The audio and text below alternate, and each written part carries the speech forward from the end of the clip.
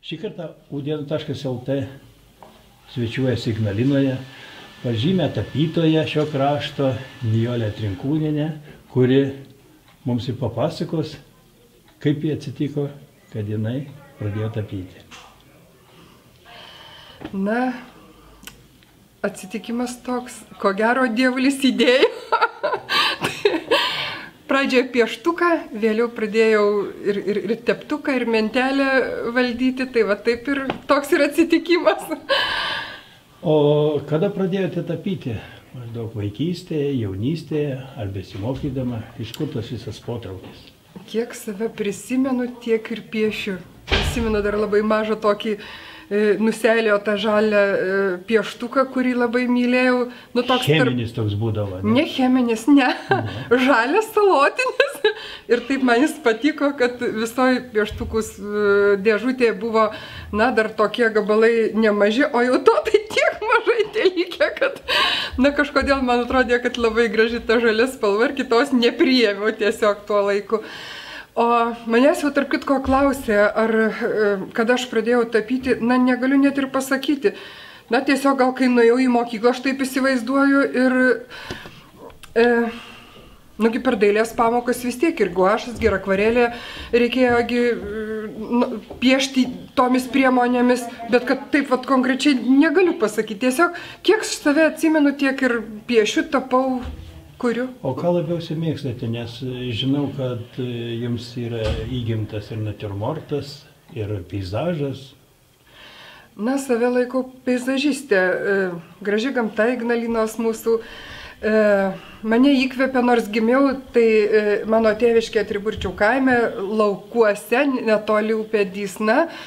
Ir, e, na, tie iš vaikystės atsinešti daugiaplaniai e, gamtos vaizdai nugula pas mane dažniausiai ir peizažuose, bet iš tikrųjų ir mėgstu daugiaplanius vaizdus e, Kaip va šitas, peizažuose. va, gal čia ir yra, E, įsiliejusi. Čia yra Galio ežeras ir, ir e, Meilės sala. e, Buvusi pionierių stovykla, kaip mes vadindavom, paskui patapo jinai geležinkeliečių stovykla, tai iš natūros, smagiausia aišku tapyti iš natūros, bet tarp kitko gana daug ir tapau. Už tai, kad esu mokytoja, tai kai prasidėjo mokslo metai, tai tampu visiška mokytoja ir e, tapybai labai jau menkai lieka laiko, o kai ateina atostogos ir vasara, tai aš jau taip su džiaugsmu tiesiog neriu į gamtos glėbį ir mėgaujuosi tiesiog. Gerbiamą Nijolę, minėjote, kad jūs iš kaimo kilusi, bet kažkodėl tai miesto motyvai va šitame paveiksle irgi nesvetimi jums, taip? Na gal kaip ir bet kuris dailininkas, taigi tapom ir, na kaip pasakyti, kaip fotografas eina, fiksuoja paskui save, kuris yra, taip ir dailininkas dažniausiai. Tai e, čia yra e, iš tarptautinio plenero Prahaticėje, Čekijos, e, Čekijoje. E, labai gražus miestelis ir ten, na, tokios tarsi sąlygos, kad turėdavom palikti organizatoriams e, du darbus, o ką jau pasitapai, tai jau kaip ir parsiveži namo, na tai čia va tokie e, Prahaticės miesto e, rytiniai vartai ir, na, man kaip prisiminimas tokio gražaus plenero.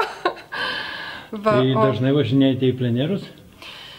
Važiuoju, važiuoju, pakviečia ir važiuoju, ir pati organizavusi esu, ir, ir na, kaip ir kiekvienam dailininkui turbūt, ir, ir plenerai, ir, ir sava kūryba.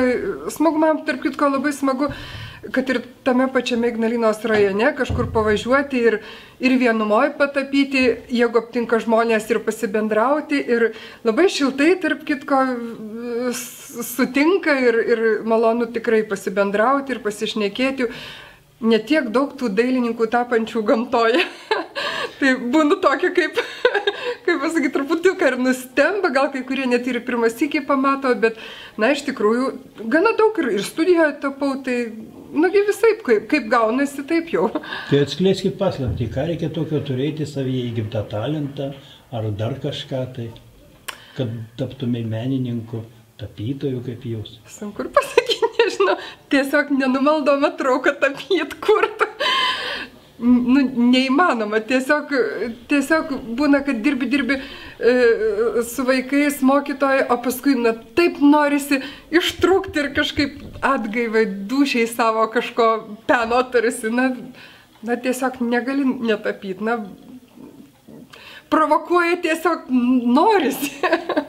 Va, tai labiausiai jau laukiu iš tikrųjų vasaros, laisvių mano, e, netgi ir paletė gal spalvų vasarą, na, žalių daugiau tokių peizažų, nors suprantu, kad interjerą, tarkim, labiau limpa gal kažkokios e, rusvos, gelsvos spalvos, bet e, kai tapai iš gamtos, tai taip ir gaunasi. Yra tokių ir fantastinių darbų, kaip ir va šitas, tarkim, e, padėliotas kūrybiškai, tai ryškių tokių spalvų.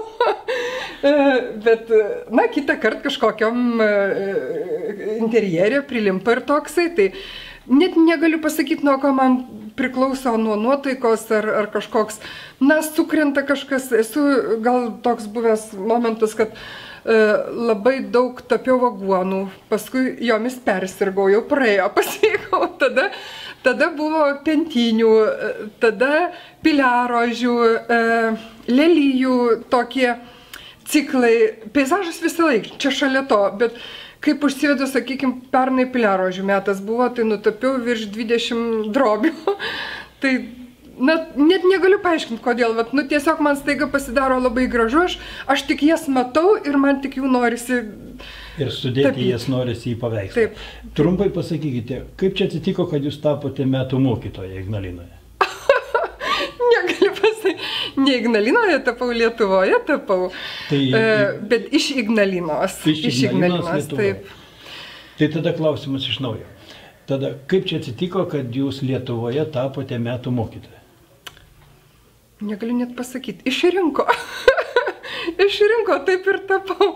Ir man pačiai buvo staigmena, aišku, labai džiaugiuosi, labai buvau e, garbingai pasveikinta, tikrai labai šiltai ir, ir, ir švietimo ministerijoje, ir, ir, ir draugai, ir rajone pagirbė labai šiltai, labai džiaugiasi. Be abejo, ir aš džiaugiuosi, bet tas apdovanojimas, tai, na, ir įpareigojimas savotiškai. Tai kągi sveikiname ir linkime jums ir tapyboje tapti metų dailininkė. Ačiū. Nežinau, ar tokia nominacija yra tapyboje. Ačiū Jums už pokalbį Ačiū. Jums. Ačiū, kad pakalbinot.